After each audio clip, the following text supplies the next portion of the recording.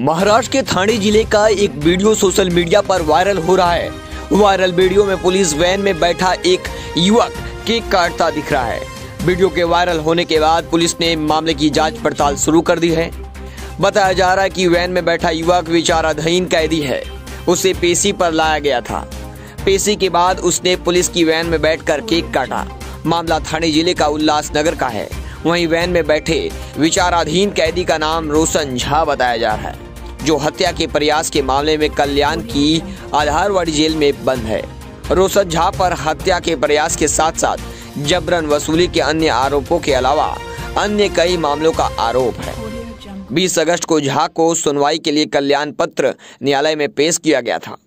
इसके बाद रोशन ने अपने जानने वालों के साथ केक काटकर अपना जन्मदिन मनाया और वीडियो तेज़ी से वायरल हो गया।